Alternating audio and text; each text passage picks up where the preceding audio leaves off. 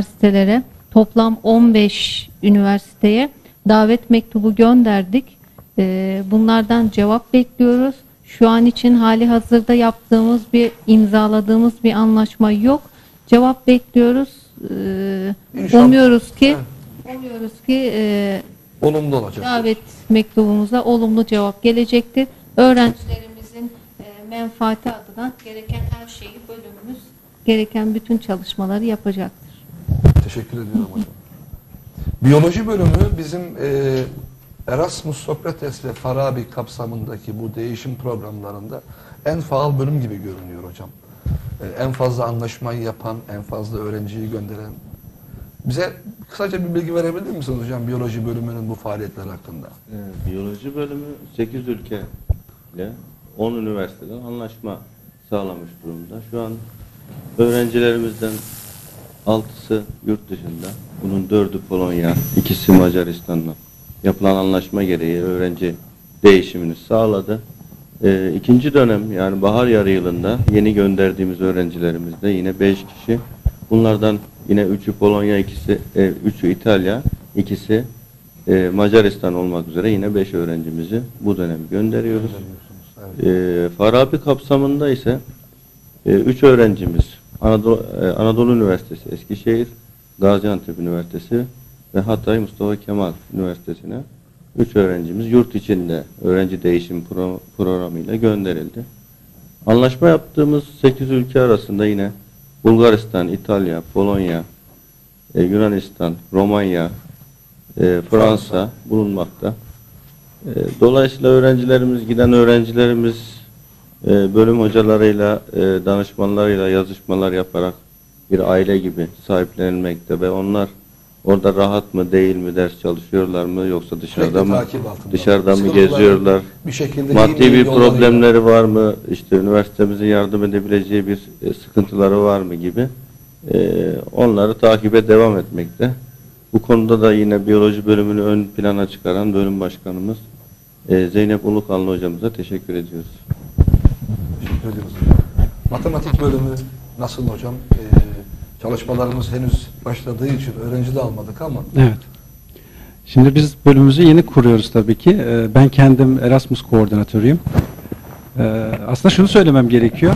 Doğrusu da bu. Biz e, bölümü açmadan önce Erasmus veya Farabi e, anlaşmaları yapmak için bazı girişimlerde bulunduk.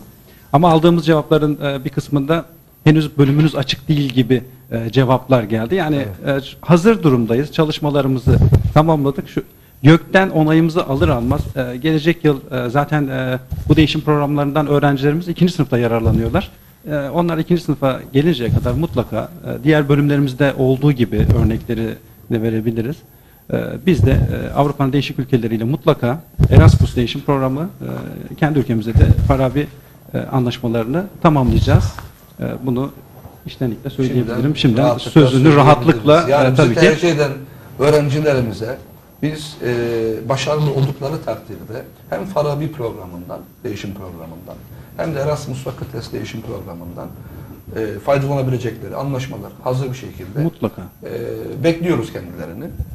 E, şimdi bugüne şu ana kadar ki yapmış olduğumuz konuşmalarımız hep lisans seviyesindeki e, konuları konuştuk. Acaba üniversitemizde ya da bölümlerimizin lisansüstü programlarıyla ilgili bir çalışması var mı? Böyle bir programımız var mı? Sayın Hocam ne dersiniz bu konuda? Ee, hocam lis- lisansüstü programlarımızdan e, YÖK'ün koymuş olduğu e, bazı kriterler var. Bölümde en az iki doçentin olması gerekiyor. E, biz 2010 kimya bölümü olarak 2010-2011 eğitim öğretim yılında e, başvurumuz sonuçlandı ve yüksek lisans eğitimimize başladık. E, o yılla da 9 öğrenciyle başladık. Şu an e, toplam 15 lisansüstü yüksek lisans öğrencimiz var. E, bunlar değişik anabilim dallarında e, özellikle organik, fizikokimya e, ve inorganik anabilim dallarında e, yüksek lisans eğitimlerine devam ediyorlar ve bu yılın sonunda da ilk mezunumuzu, mezunlarımıza vereceğiz.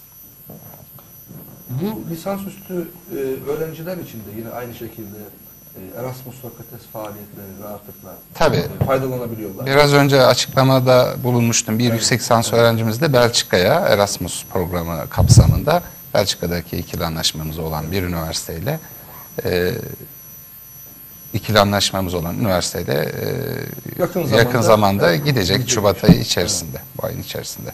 Fizik bölümüyle ilgili hocam e, söylemek istediğimiz lisansüstü eğitimimiz hakkında. Hocam e, konuşmamın en başında e, bölümün akademik kadrosu için oldukça iyi demiştim. YÖK'ün Y kriterlerini yüksek özellikle yüksek lisans programı açmak için e, gerekli kriterlerini sağlamış olmamıza rağmen açamadığımız için biz de e, Mustafa Kemal Üniversitesi ile yüksek lisans programı açmak için gerekli girişimleri yaptık. E, ortak yüksek lisans programı için protokol imzalandı. Benzer bir şekilde inşaat mühendisliği bölümümüzün Evet. de bir protokolü Evet. vardı. Zaten Onlar bir- size bir şekilde Evet. e, yol veya yön Birlikte çalıştık. Ee, Evet. gerekli protokollerin ve YÖK'e e, yazışmaların yapılması için birlikte çalıştık zaten inşaat mühendisliğindeki arkadaşlarımızla. YÖK'e gerekli yazışmalar yapıldı. Olumlu cevap bekliyoruz. İnşallah bir aksilik olmazsa önümüzdeki Eğitim güz yarı yılında biz de ilk yüksek lisans öğrencilerimizi almayı planlıyoruz.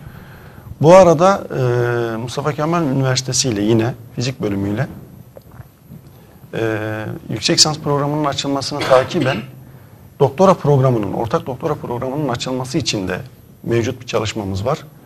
E, karşılıklı e, mütabık olduğum mütabık olduğumuzu söyleyebiliriz buradan. En kısa zamanda e, doktora çalışmasının da e, neticeleneceğini, gerekli protokollerin hazırlanıp YÖK'e sunulacağını e, söyleyebilirim. İnşallah kabul edilir hocam. Çünkü hem Mustafa Kemal Üniversitesi hem Osmaniye Korkut Ata Üniversitesi'nin akademik personellerinin Evet. bir araya gelmesiyle doktora programına başvuruda YÖK'ün de sanırım yok demeyeceğini düşünüyorum. Biz de öyle düşünüyoruz hocam. Yani bu önemli bir işbirliğidir iki Evet. üniversitenin iki bölümü arasında. E, Bunun değişik örnekleri de var. E, Bir aksilik inşallah olmazsa e, önümüzdeki güz yarı yılında biz de ilk yüksek lisans öğrencilerimizi almayı bekliyoruz. İnşallah, inşallah hocam.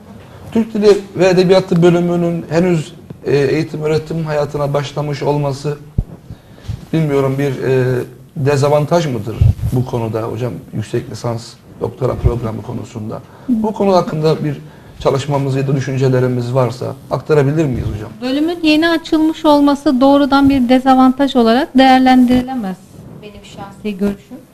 E, çünkü bölüm açıyorsunuz. Bu bölüme e, akademik kadro e, YÖK'ün belirlediği kriterler arasında iki doçent, bir yardımcı doçent olma şartı var öğretim üyesi açısından. E, şimdi Osmaniye Korkut Ata Üniversitesi yeni açılan bir üniversite ancak e, TR 63 bölgesi denilen bu sanayileşmede önemli bir noktada stratejik konumu e, çok önemli. Bununla birlikte Osmaniye'nin tarihi arka plan kültürü de var. Osmaniye şehri milattan önce 3000 yılına dayanıyor. Hititlere kadar gidiyor Osmaniye'nin Evet. tarihi. E, şimdi hem rektörlüğümüzün bize sağladığı uygun çalışma şartları hem Osmaniye'nin stratejik konumu yani coğrafi konumu öğretim üyelerinin buraya gelmesinde burayı bir cazibe merkezi haline getirebiliyor. O yüzden yeni açılmamız bir dezavantaj değil. E, mutlaka e, talepler var.